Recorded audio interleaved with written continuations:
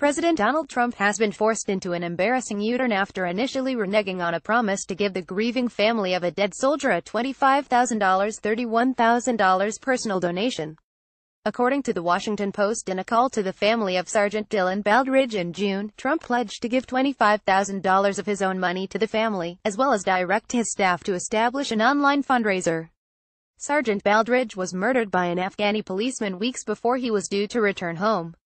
Dylan's father, Chris Baldridge, said he complained to Trump that the Pentagon's $100,000 death gratuity would go to his ex-wife even though I can barely rub two nickels together.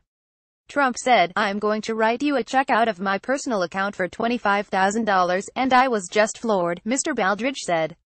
He said, no other president has ever done something like this but he said, I'm going to do it, but several months later, Mr. Baldridge said he hadn't received a penny from the president. When the Washington Post contacted the White House, it had no comment. Hours after the story was published, they issued a statement.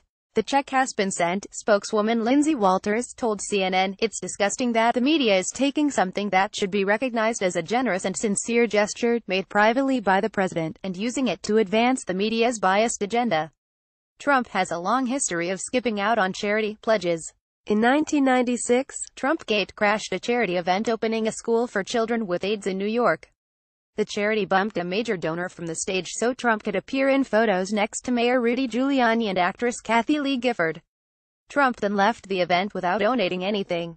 Trump's latest act of purported stinginess comes under after his alleged comments to the widow of a soldier killed earlier this month in Niger.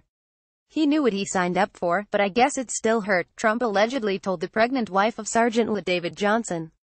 Trump's comments were relayed by Congresswoman Frederica Wilson, who was in the car with the widow when the president called. Democrat Congresswoman totally fabricated what I said to the wife of a soldier who died in action and I have proof.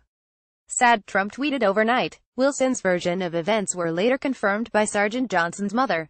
Trump has yet to provide the proof he claims will exonerate him. Trump angered staffers from previous administrations this week when he claimed to be the first president to call the families of war casualties. If you look at President Obama and other presidents, most of them didn't make calls, Trump said. A lot of them didn't make calls. I like to call when it's appropriate. That comment infuriated Obama's deputy national security advisor Ben Rhodes, who lashed out on Twitter. This is an outrageous and disrespectful lie even by Trump standards, Rhodes said. Also Obama never attacked a Gold Star family. The reference is to the parents of Captain Humayun Khan, who died in Iraq in 2004 trying to intercept a suicide car bomber. Captain Khan's father Khizr gave a scathing critique of Trump over his proposed Muslim immigration ban at the Democratic National Convention last year. Go look at the graves of brave patriots who died defending the United States of America, Khan said. You will see all faiths, genders and ethnicities, you have sacrificed nothing and no one. A few days later Trump accused Khan of reading a speech from Hillary's scriptwriters, then questioned why his wife didn't speak. His wife, if you look at his wife, she was standing there.